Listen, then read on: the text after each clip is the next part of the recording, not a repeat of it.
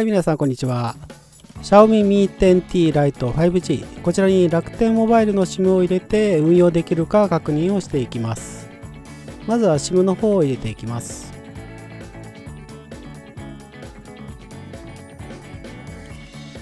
SIM スロットルの形状はデュアル SIM の形状となっています。またはもう一つはマイクロ SD ですね。こちらの方が入る仕様となっています。以前紹介した Mi 10 Lite 5G こちらのグローバル版はデュアルスロットル。au 版の方はシングルスロットルとなっています。マイクロ SD が使えるということでやはりエントリー向けの機種となっています。それでは電源を入れて設定の方をしていきます。それでは設定画面の方を見ていきます。まずは SIM カードとモバイルネットワーク。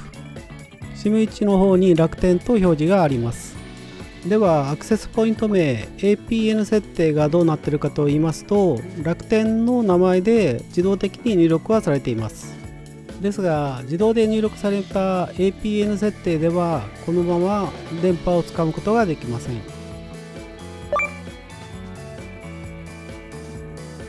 それでは電波を使うために修正をしていきます。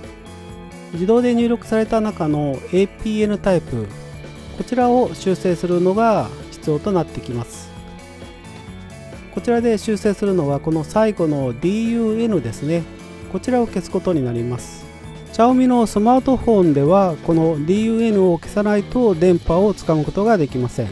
修正が終わりましたら保存をしてもう一度電波をつかむか確認していきます。撮影場所は自宅の部屋になりますが楽天エリアの範囲になっていますがご覧のようにバンドさんの強度の方は極端に悪くしばらくすると切れてしまう状態になります。次に電話アプリを開いてボルテを有効にするコードを入力していきます。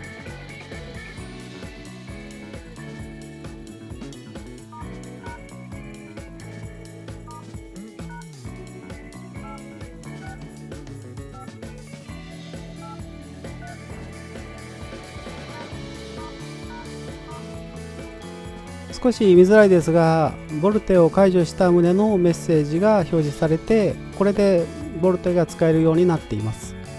では設定の方を見ていきます。こちらの方先ほどは表示されてなかったボルテを使用。こちらの欄が表示されるようになりましてこれで使えるようになりました。まとめると SIM を挿した時に自動的に入力された APN 設定の中からタイプを修正。次に標準の電話アプリでコードを入力してボルテを有効にしていきます。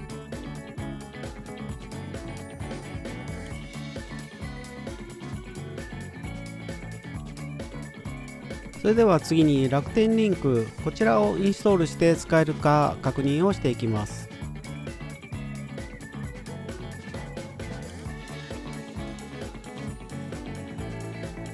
では楽天リンクこちらの方認証の方を進めていきます。では認証をします。ですがこの場所かなり電波状態が悪くて返信の方が全然来ませんでしたので少し外側に行きまして認証の方をしてきました。では楽天リンクのメッセージですね。こちらの方を送信して確認をしていきます。楽天リンクのメッセージの送信と受信の方が正常にできるのが確認できました。次に通話の方を確認をしていきます。はい通話の方も問題なく通信ができているのが確認できました。以上で Xiaomi Mi 10T Lite 5G こちらに楽天 SIM を挿入してデータ通信と楽天リンクのメッセージ楽天リンクでの通話が可能であることが確認できました。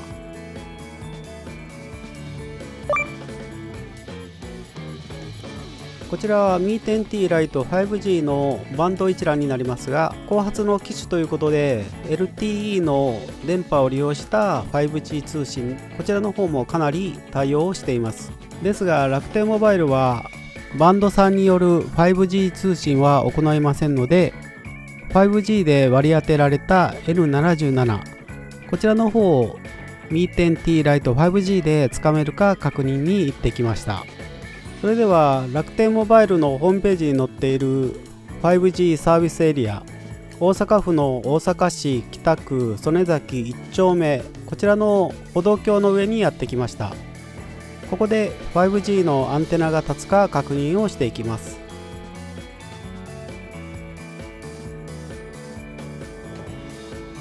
それでは有線ネットワークこちらを 5G 優先に切り替えてアンテナピクトに 5G が表示されるか確認をしていきます。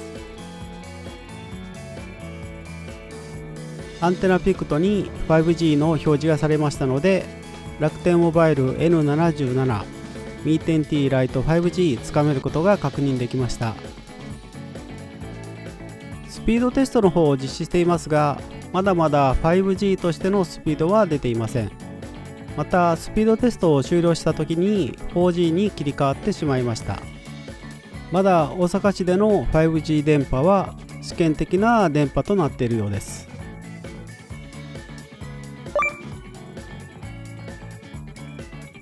私が購入した Mi10T ライト 5G はグローバルモデルになっていますのでバンドの方を見てもパートナー回線エリアこちらには対応していません。ですので建物の奥や地下では使用することができません。地上に出るとバンド3を拾うことができて通信が可能となっています。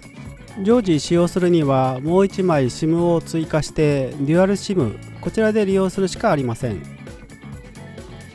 Xiaomi Mi 10T Lite 5G 楽天モバイルでの設定の仕方と 5G がつかめるかどうかの検証を実施しました。今回の動画は以上となります。最後までご視聴いただきありがとうございました。